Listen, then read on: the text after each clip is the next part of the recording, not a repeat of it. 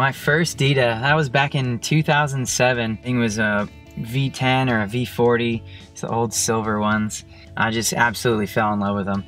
I've been playing with them in my room and on the sidewalk and all over the place. I couldn't stop playing with that stick and it just really felt good. So much better. I could do aerials and I could do lifts and I was chipping into the top net.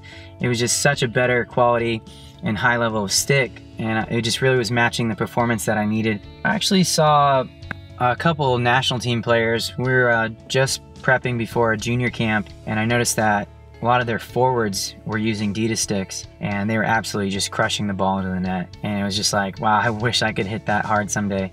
And I'm seeing Jared Martin and Nate Coolidge and those guys be able to throw the ball 60 yards overhead or hit the ball in the top net every single time.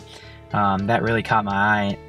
With this Dita stick, there's a lot of things that actually benefit my style of play. Uh, the stick is super light. It's about 70% carbon in it right now.